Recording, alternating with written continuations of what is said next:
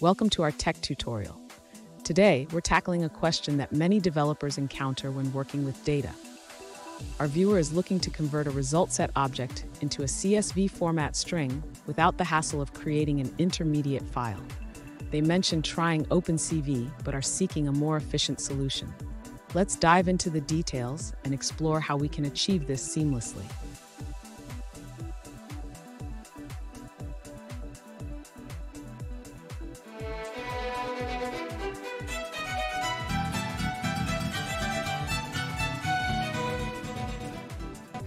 Welcome back to another technical video.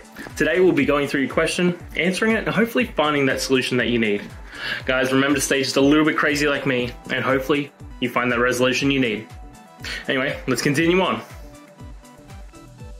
To convert a result set object to a CSV format string, we will first need to understand the structure of the result set.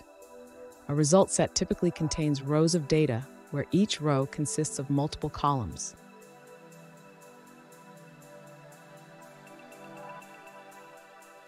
Next, we will create a method to iterate through the result set.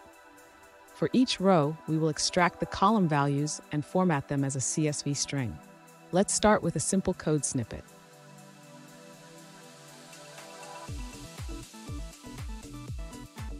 In this code, we initialize an empty string for our CSV output.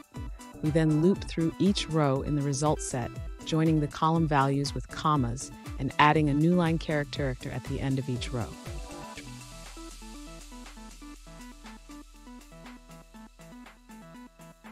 Finally, we can call this function by passing our result set object to it. This will return the CSV formatted string without the need for any intermediate file creation.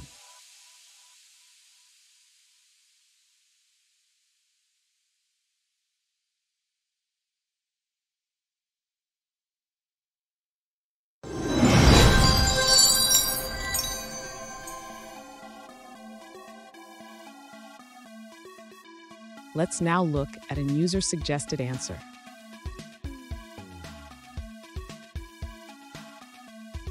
When converting a result set to CSV format, it's important not to create your own method.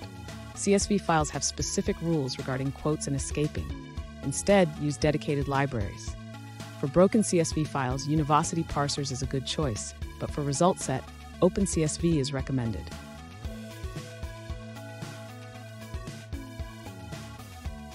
And guys, that's it. I hope this video has helped you to get you through to that resolution you needed. If it did, please, I'd appreciate it if you hit subscribe.